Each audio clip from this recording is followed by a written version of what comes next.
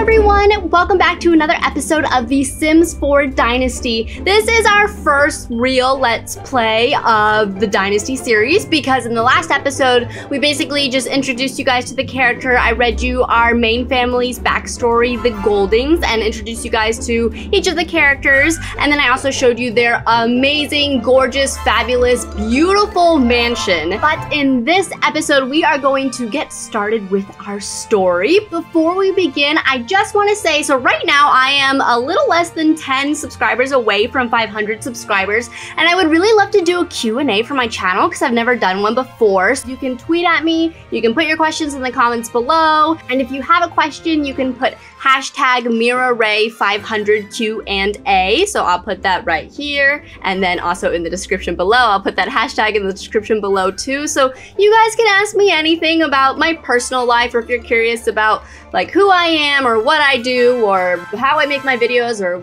how I got started, anything. You guys can ask me anything and I will answer. I'll try to answer all of them. If there end up being a lot, a lot of questions, then I might just answer the most asked questions. So yeah, I will probably post that video. I mean, like I probably can't post it until I get 500 subscribers. So hopefully that will be in a few days because I've kind of noticed a, a trend of it going up. But if not, I mean, it'll be posted next week probably anyway, because I already have my schedule for the week. So yeah, it will probably be posted sometime next week. So yeah, but before we begin today's episode, if you haven't subscribed already, don't forget to hit that subscribe button and to turn on your notifications so you never miss another one of my videos. And with that, let's go ahead and play The Sims 4 Dynasty. So any questions you guys have about the backstories, you might want to look back at the last episode. I haven't done any of the backstories yet for any of the other families that are in San Myshuno either. So for those, I have not put a website yet of the backstories like I was supposed to. I really want to. Maybe I'll put those in the description below. Check the description below. I will probably copy and paste it in there for now. I was like going to do a, a Tumblr, but to be honest, I can't, I don't understand Tumblr. I've never posted on Tumblr. I've like, looked on Tumblr before, but I've never like had a Tumblr account. So I was trying to figure it out and I couldn't. And I would like so, like a more like a website thing of something that I could like edit the stories and stuff instead of just like one post. So I'll probably look into like a Wix website or like a Squarespace website, one that's free, one that's like easy. And then hopefully by the next video, I will have that for you guys. So right now, so our story is starting. So if you guys saw the last episode too, you saw that Astrid Golding, who's our main character, her father is getting married to his his prep school sweetheart, but it's only been like it's been like less than a year since their mother passed away.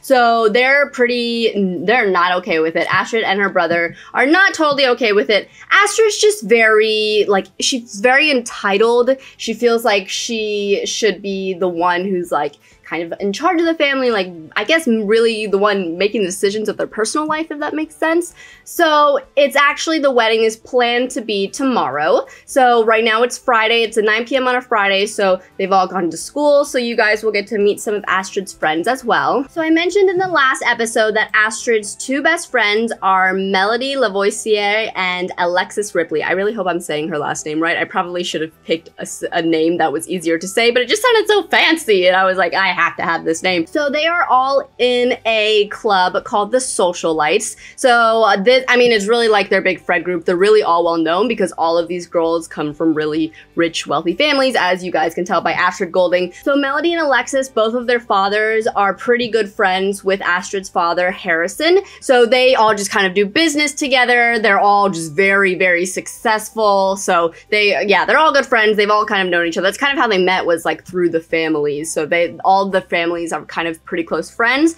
So all these girls have been friends for a really long time. So yeah, so they're the socialites. They're kind of the ones that everyone looked up to. They're all global superstar superstars. Everyone knows who they are really well. They've just, they're all kind of become fashion icons. They are all just really successful in what they do. So we will get to know them as well. And I can also read you guys their family descriptions. But if you also want to see, see their family descriptions, you can look in the video description below because I will post their family's descriptions in there there too.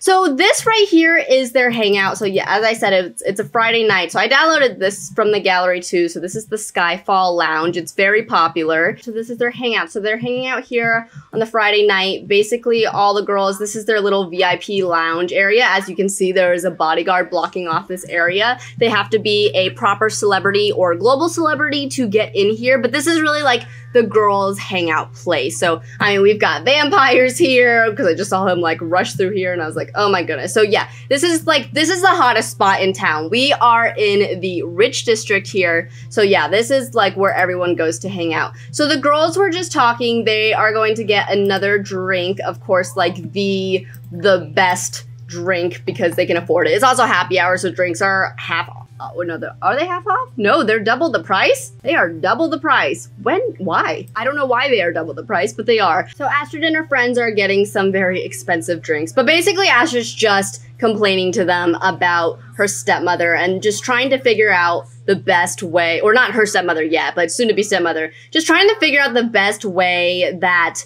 they can stop the wedding because that is really what she wants to do and it's cruel and it's out there and like she knows that most people would probably judge her for like trying to stop her father's wedding but she knows her friends and her friends know her and oh my gosh i'm sorry guys. There's this fruit fly that's been flying around for like i swear it was here like two days ago and it will not leave so um, if i just keep swatting the air that's why it's because this fruit fly keeps getting in my face. Okay so astrid's talking and alexis is really like her and melody are very close too like they're really great friends but her and alexis have been best friends since they they were little. And that is like really her, her best, best friend. So Alexis, so her story is interesting too. So you guys will get to see that in the description. But basically her father owns like every or her family owns like every single business. Like they own these restaurants they own lounges they own vet clinics they own also what are the other ones? They own like the the fancy shopping mall that's in san myshuno and like all these other malls too. And he's currently developing a new world called newcrest. So alexis's father is in charge of developing all of that land over there and he also owns like all these businesses. So that is her family. So that's how kind of get, gives you an idea of how wealthy and powerful they are. And Alexis needs to go to the bathroom. Actually, speaking of, this is her father right here. So this is her father, Talon. So he is also, so, okay, so basically the story with him is that her mother and her father got divorced several years ago. So he has been one of the most wanted bachelors in the area for several years, and Alexis has just kind of been like scaring off all of the women that try to marry him, try to date him, because she was hoping one day that her and her father, her father and her mother will get back together one day. But her father is actually just married someone that she does not like because she's for sure a gold digger, and for some reason, Alexis cannot scare her away, so we will meet her at some point in this video as well. Okay, so yes, everyone, they are getting their drinks and such, so they are kind of like, this is a very crowded area, so I think right now they're gonna be like, okay, this is enough of people, we're going to go sit in our little lounge area so we can have some privacy and away from everyone. Actually, maybe they should go into the hot tub. This is how close Astrid and Alexis is. They have the same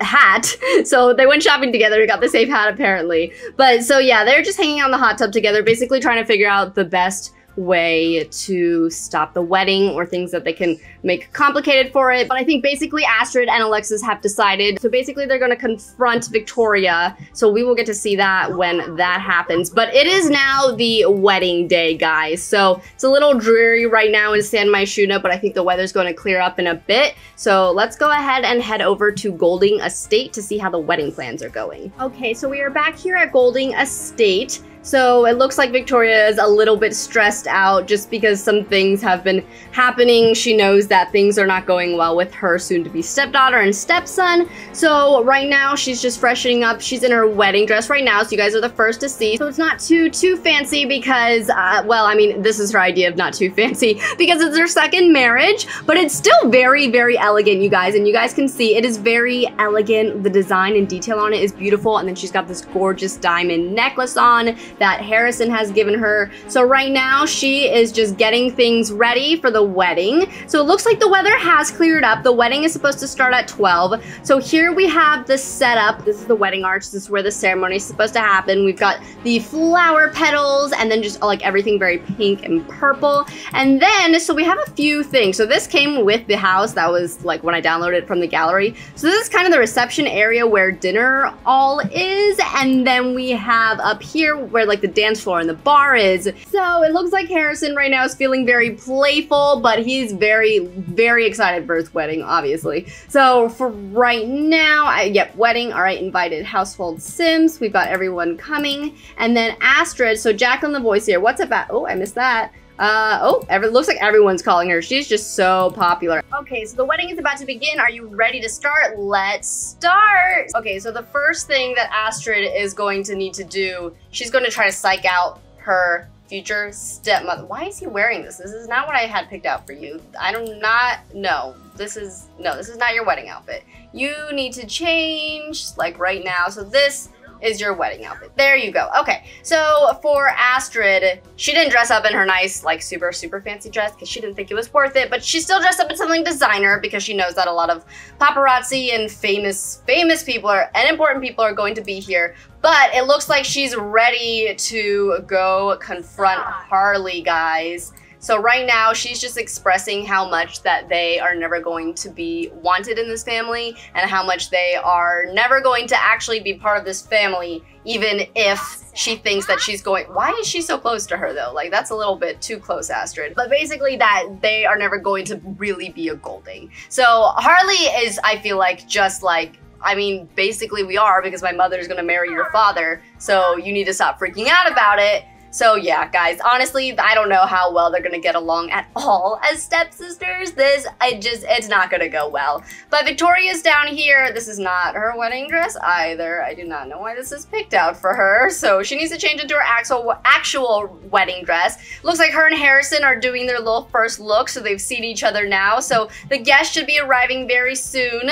So they, guys, are, oh, I was like, wait, where did the wedding arch go? It's in the front of the house, not the back. So all of our guests are here, so we can kind of start saying hi to everybody. So we have, uh, Madel, not Madeline's, we have Melody's mother here, Jacqueline Lavoisier. So, oh my gosh, guys, these people like really did, I don't, Okay, oh, that's the musician. I was like, I have no idea who you are. And then uh, we have Melody here. So let's take a look at everyone's formal outfits, everyone's dresses. So this is, oh my gosh, my camera is going insane right now. I do not know what's happening. This is Melody's. If when when she comes in, oh, she, if she comes in, she's not coming inside. But this is Melody's formal outfit, as you guys can see. So this is Melody and her mother. I do not know what's going on with the walls right now. Um, so this is Melody and her mother. So this is gorgeous, and her hair is like up, really nice. And this is her mother. She's got a gorgeous embroidered dress on that probably costs like thousands and thousands of dollars. So this is her mother, Jacqueline. So I will actually read you Melody's family's description and I apologize if I'm like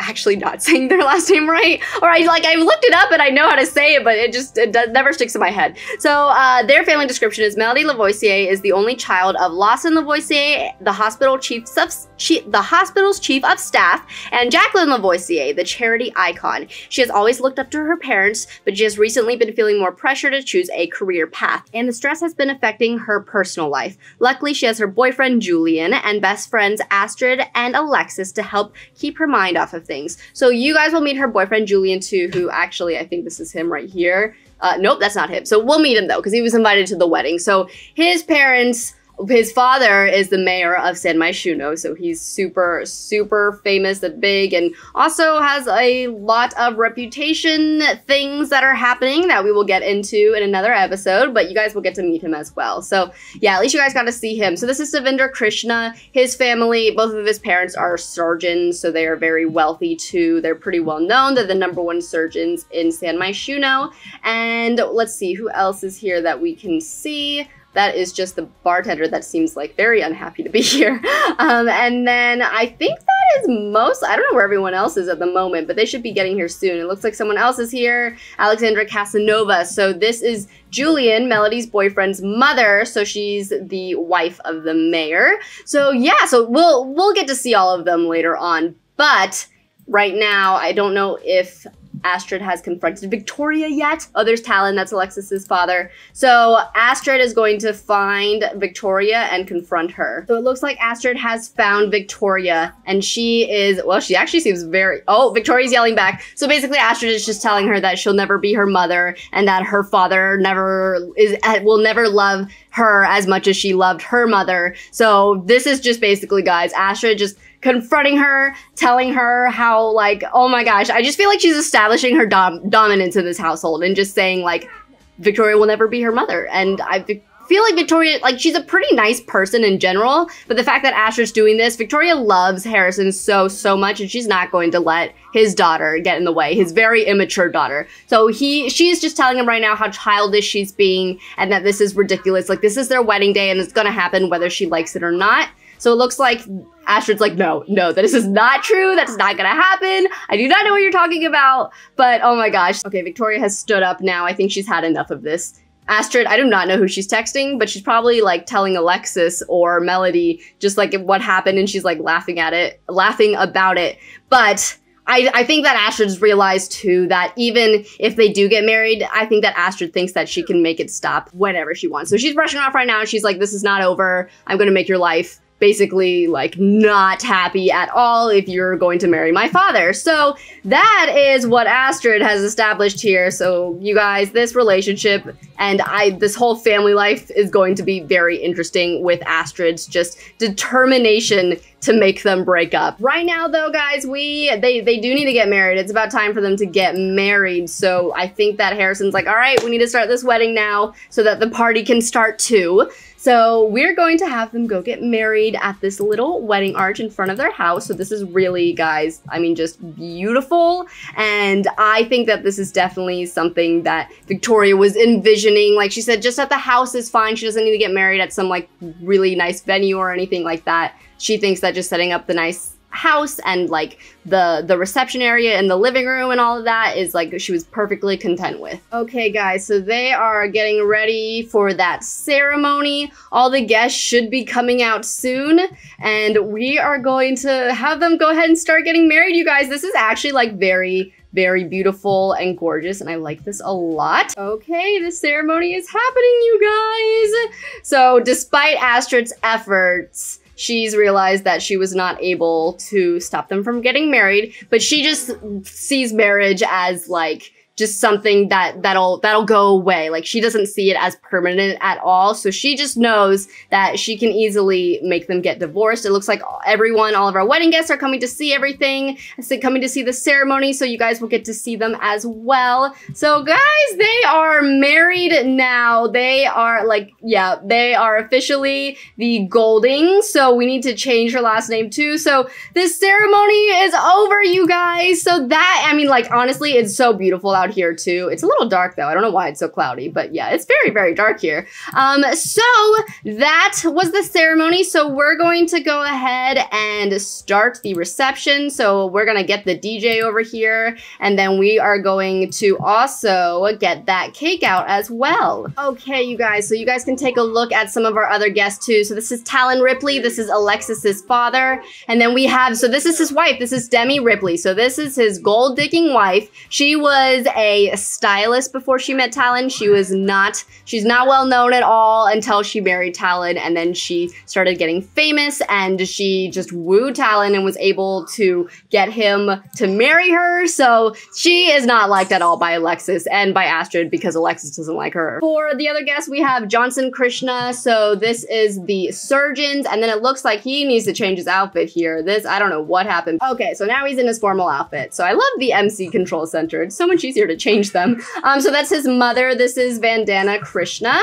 So they are all here. They're a very wealthy family. This, however, guys, I'm realizing I shrunk it because it was very big and I made it smaller and now it looks funny when a DJ is actually here. So I'm going to change this back to the original size. So now we can see that. So everyone is in the, well, not everyone, but we're, we're starting like the dancing and stuff here. So I think we're gonna have Harley would for sure be the first one on the dance floor. So she's gonna start dancing and then hopefully everyone else will join too. And then we need to also grab our cake here. So I'll probably just keep, yeah, I'll bring the cake downstairs.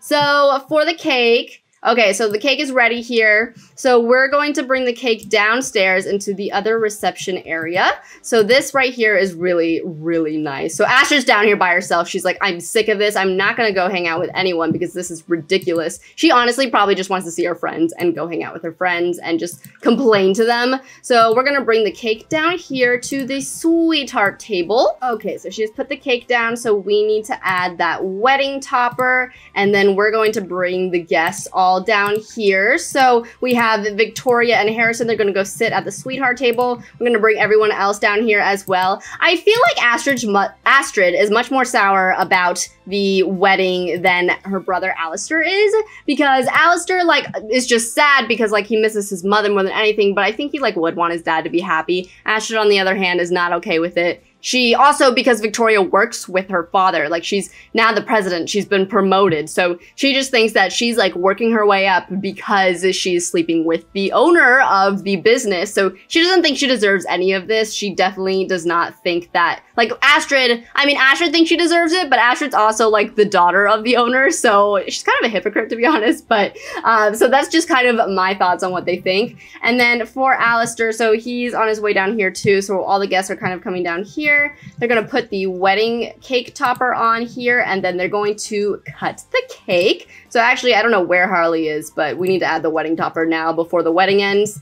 So I think that Victoria's just going to go ahead and do that. Astrid's with here with her brother, and they're just sitting by themselves because she's like, this is ridiculous. Alexis is here too, so you can see her formal outfit. So we can have Alexis come here, and I feel like Astrid's like, oh my gosh, thank gosh you're here. And yeah, you guys can see her formal outfit too, so this is really pretty. She actually has the same hair that Melody has. They have the same hairstyle, which I thought was interesting, but they're like best friends, so I feel like they decided to do that. I don't know why Melody's hanging out in the wine cellar, but she kind of needs to come down here. Okay, so they have just added the wedding cake topper. So we are going to go ahead and have them cut the wedding cake and then we will call all the guests to come get some cake. So they're all celebrating and that whoa, yo, lady, you need to move. You, you need to, I don't know what you're singing about, but she needs to get out of the way. I do not know why she's singing, but we can ask, uh, yeah, let's call everyone to the meal, call everyone to the cake. Um, we're also going to fill the fountain with some fruit punch.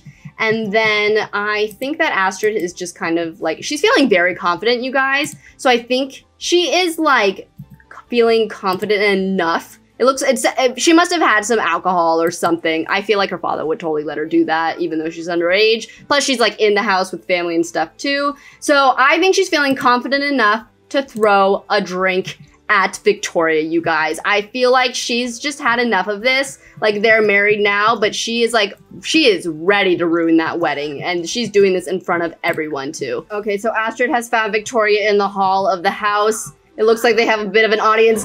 she did it, you guys! She shoved her drink in her face in her white wedding dress, too. Astrid's like, oh, cry me a river. She is just like, oh, I'm sorry, guys. This, like, is honestly the worst view ever. She shoved her, too, you guys. Astrid is relentless, and she's yelling at her now too. I like how Melody is standing there and all she has to do is go to the bathroom. She's like not concerned with this at all. So Victoria is just like feeling confident. She was walking away from that. She's like, I, this is ridiculous. This girl is so immature. I'm changing out of my dress and like not that many people saw, but I think she is going to. I don't think she would go tell her father, but I think she's just like changing out of her dress. Her father would totally see it though. Like Harrison would be like, "What happened?" She'd be like, "Well, your daughter's a little bit crazy. She's spoiled. That's for sure. Honestly, she is so spoiled." So Astrid has just had enough of this. She is out of here. She's like going to her friends and she's like, "Come on, guys, we are leaving." So guys, that is the end of the wedding. So the wedding is over. So despite Astrid's efforts, the wedding still happened. They still got married, but Astrid is going to spend all of her efforts to try to make them get divorced and try to prove to her father that Victoria is not good for her. She thinks that Victoria is like a gold digger and not actually marrying her father for love, but little does she know that Victoria actually does love her father. So yeah, you guys. Okay, so I hope you guys enjoyed. This is our first real like let's play of the episode. Let me know what you guys think in the comments below. And again, don't forget to ask those questions so I can do my Q&A video. So you guys can use the hashtag that's in the description, Mira Rae 500 Q&A. And I hope you guys enjoyed this. I love this series so much. It's so interesting. It's so dramatic. There's so much going on. And I love it. I love the outfits. I love the houses and everything. I love the characters. There's just so much to them. So look out for when the next episode will be posted on my schedule on my Twitter at Mira Rae underscore. And I hope you guys enjoyed this. If you did, give this video a big, big thumbs up. And don't forget to hit that subscribe button and turn on your notifications if you haven't already. And I will see you guys in the next episode. Bye!